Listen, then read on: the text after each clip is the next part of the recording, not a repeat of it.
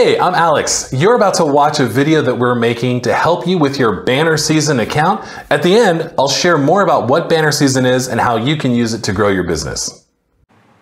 Alright, this video is going to show you how to integrate your Banner Season account with Zapier.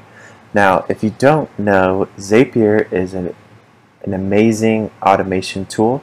It will speak to, basically it will speak to different uh, programs, softwares, websites, uh, social media platforms and it will basically speak between them and have different actions taken based on an action on a previous website.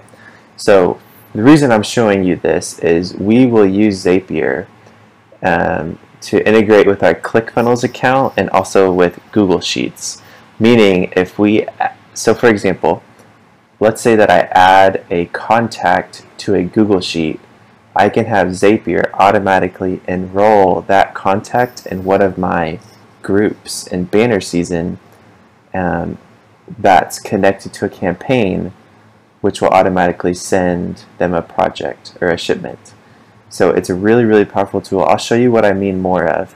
Um, but the first thing I just wanted you to do is we have to connect our banner season account with Zapier. And so I'm going to show you how to do that.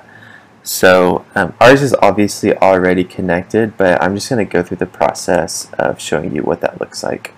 Um, and so I'm just going to run through this. This isn't important right now because we can only use banner season um, on what's called an action. So the trigger right now is going to be um, a new or updated sheet uh, row in Google Sheets. Um, I'll show you what this means more. If I'm not um, um, this isn't really important right now. This is not for the sake of the video. Okay, so we have our action step now. So the, we always have our trigger and then we always have an action. So I'm just showing you how to get your banner season count connected. Um, and so ours, is, like I told you, is already connected. Um, but if you need to, all you need to do is click this connect an account button. And what you need to do is get the API key from Banner Season. And to do that, they, they make it really easy. You just click on this. It'll open your Banner Season account and they have your key right here. So you can copy that and then just paste it here and then you would click yes continue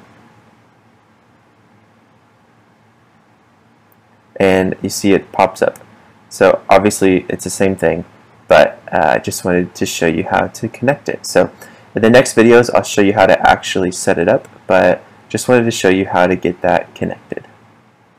Banner Season is a direct mail marketing service that allows you to send mail from their system and it automates the entire process, which is what I love. So you can, you can set up your mail to be sent automatically based on triggers that happen within your sales funnel or your website.